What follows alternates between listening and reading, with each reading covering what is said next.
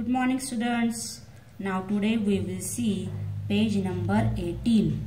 So you can see on this page number 18 total 6 circles are given. These 6 circles are very close to each other. In first circle second circle is given. In second circle third circle is there. In third circle fourth circle is there. In fifth circle this uh, fourth circle fifth circle is given and in sixth circle fifth circle is given. They are very closely arranged to each other. So in this magic circles we can say we have to use pencil colors like this.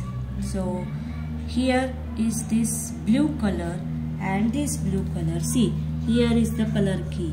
In first circle we have to give blue color. In second circle we have to give red color. In third circle we have to give green color. In fourth circle we have to give purple color.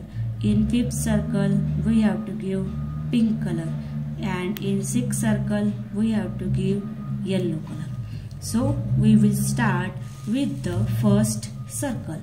So in this first circle we have to give this blue pencil color and very gently we have to give this circle because that is given. Be careful not to color too dark.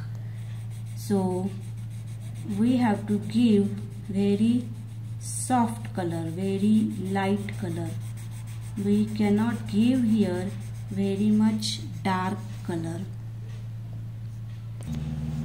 now in this second circle we have to give this red pencil color.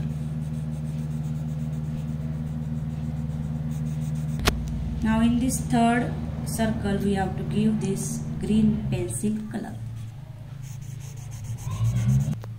Now in this fourth circle we have to give purple color like this.